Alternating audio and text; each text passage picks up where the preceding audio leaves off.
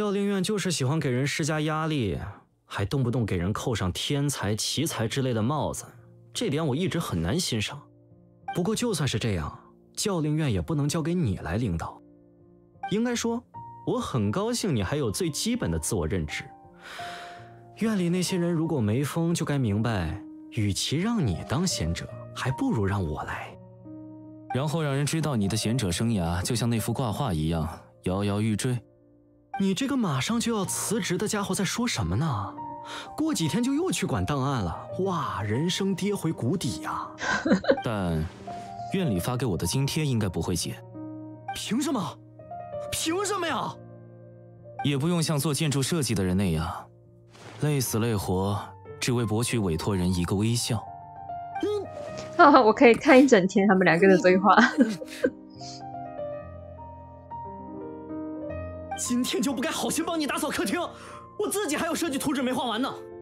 记得补交你欠的房租，我打算拿那笔钱添置一些家具。是，你是想气死我吗？你买的那些摆件一个比一个没有美感，放块干巴巴的木雕在家里有什么意思？谁让我经济自由呢？嗯，我说。总拿自己的优势跟别人比，也是一种逃避吧。去掉庸俗的金钱，在更有价值的地方比一比。嗯，很难想到有什么是你占上风的，你自己能想到吗？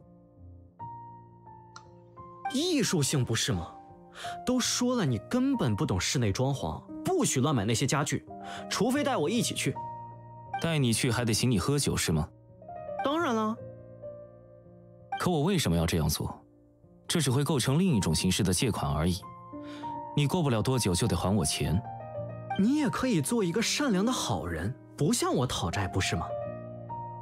他在道德绑架他，假装自己没有负债，就像假装自己没有住在别人家里一样可笑。其他人迟早会知道的。哎，说到这个，今天来的家伙应该不会说出去吧？记得叫他们帮我保密啊。我倒觉得你早就暴露了，没必要费心掩饰。凭你那几杯倒的酒量，去几次酒馆，自然就把秘密全说出去了。不会吧？不不对，应该不会吧？有自信一点，卡威。